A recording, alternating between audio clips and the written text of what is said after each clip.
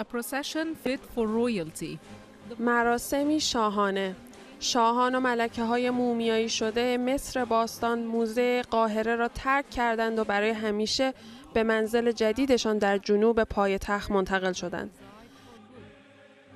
دیدن مراسم انتقال این مومیایی ها لحظه چشمگیر و به یاد ماندنیه.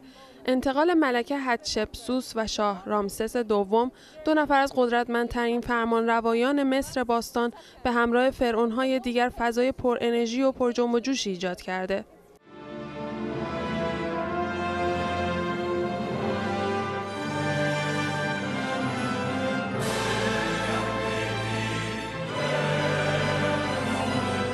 رژه مومیایی ها با خودروهای مخصوص انجام گرفت. آنها کمک فنرهایی دارند که از صدمه خوردن به مومیایی ها هنگام سفرشان جلوگیری می کند.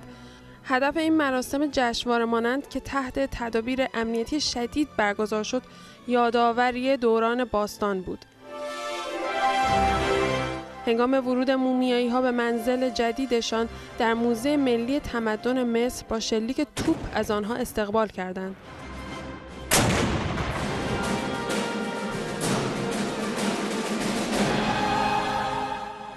رئیس جمهوری مصر هم که به چنین مراسم خیره کننده ای افتخار می کند به آنها خوش آمد گفت. مومیایی ها را فورا در موزه رها نمی کنند. گروهی از کارشناسان در دو هفته آینده آنها را آزمایش می کنند و بعد با دقت در مکان طراحی شده قرار می دهند. سلی نبیل بی بی سی نیوز کایرو